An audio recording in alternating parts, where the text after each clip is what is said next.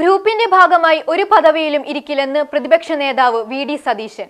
പുനഃസംഘടന സംബന്ധിച്ച് പ്രശ്നങ്ങൾ വന്നപ്പോൾ എല്ലാവരുമായി ചർച്ച നടത്തി. കെ പി സി സി അധ്യക്ഷൻ കെ സുധാകരനുമായി വിശദമായി ചർച്ച ചെയ്ത് പ്രശ്നം പരിഹരിക്കും. ഹൈക്കമാൻഡിന്റെ അനുമതിയോടെ പുനഃസംഘടന പൂർത്തിയാക്കുമെന്ന് വി ഡി സതീശൻ വ്യക്തമാക്കി. ഹൈക്കമാൻഡിന്റെ വിലക്കോടെ വഴിമുട്ടിയ പുനഃസംഘടനാ തർക്കം പരിഹരിക്കാൻ സമവായ ശ്രമങ്ങൾ തുടങ്ങിയിരുന്നു. K P C C president K സുധാകരനും പ്രതിപക്ഷ നേതാവ് വി ഡി സതീശനും ചർച്ച നടത്തിയിരുന്നു. സംഘടനാ തെരഞ്ഞെടുപ്പിന്റെ അംഗത്വ വിതരണം വേഗത്തിലാക്കാനും നേതൃത്വം തീരുമാനിച്ചിരുന്നു.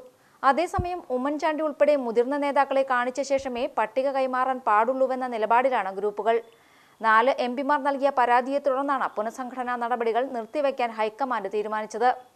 ഹൈക്കമാൻഡിന്റെ അടിയന്തര ഇടപെടൽ Rajmohan Unnithan T N Prathapan Benny Behanan M K Raghavan എന്നിവരാണ് പരാതിപ്പെട്ടത്. K P C C D C C ഭാരവാഹിത്വം ലഭിക്കുന്നത് അനർഹർക്കെന്ന് എം പിമാരുടെ ആരോപണം.